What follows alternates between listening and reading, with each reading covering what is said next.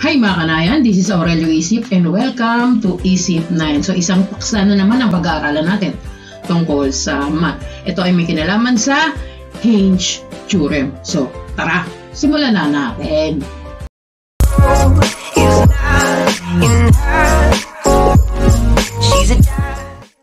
Okay, ano ba yung hinge? Di ba? Di ko alam kung hinge to o hinge, no? So, pag ang sinasabi ng hinge, sa Tagalog ito ay yung bisagra. Kung, kung malaman nyo kung ano yung bisagra, ito yung nasa pinto, nasa gilid yung uh, bumubuka-buka. So, yan yung hinge. So, so meron yung kinalaman sa triangle, no? So, kaya meron tayong tinatawag na hinge theorem. So, kunyari meron ako dalawang triangles, no? So, ang ano sinasabi ng hinge theorem? yung pagbuka. No? Ibig sabihin, kung malaki ang buka ng angle na to, mahaba. Kaysa sa, kunyari ito, itong buka na to, no? yung angle A.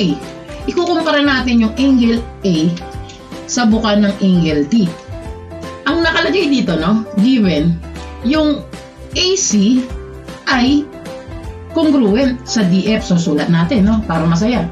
So, A, C, is congruent no, to DF.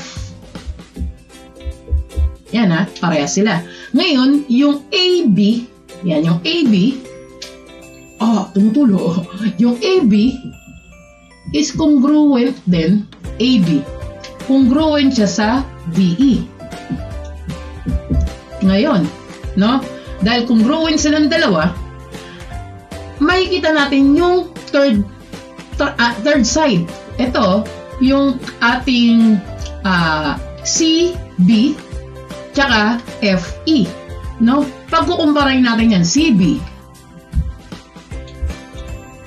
FE.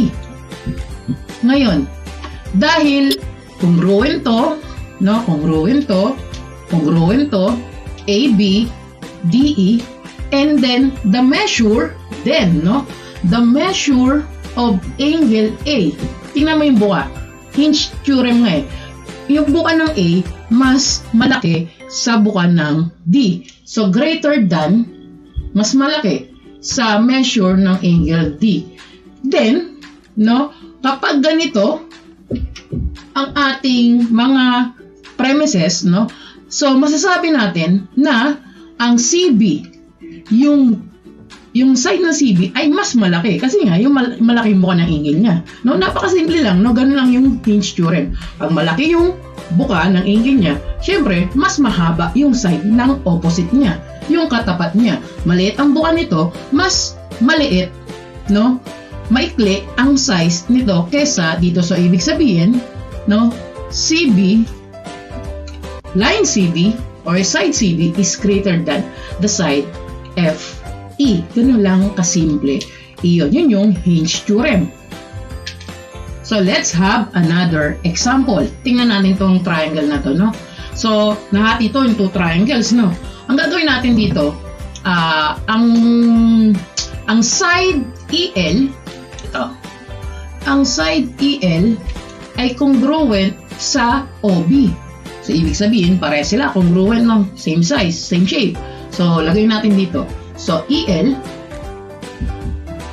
is congruent to OB. And then, EO. EO, hindi to sa ano, mata. EO is congruent to EO. Pareha silang side. Common side sila. Meron tayong reflexive property. Kapag common side sila, so EO, EO is congruent to EO no? Executive optical, baka naman, no? And then, yung angle natin, no? Yung angle O, so 98 to, angle O natin, 98 degrees, then 25 degrees naman yung ating angle E. So, nakalagay dito, kumparahin natin yung LO sa BE. Tingnan natin yung opposite niya. Yung opposite niya, no, opposite side nila is LO ang opposite side naman nito is BE. So, ibig sabihin, gano, ganun lang naman. No, ganun lang naman. Kapag mas malaki yung angle na to, so, dito, sa angle na to, so, ibig sabihin, yung side LO, LO ay mas malaki yung BE kaysa sa LO. So, ibig sabihin, no, LO is less than.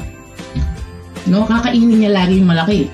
Less than the side BE. So, ganun lang kadali ang hinge theorem. Naintindihan ba?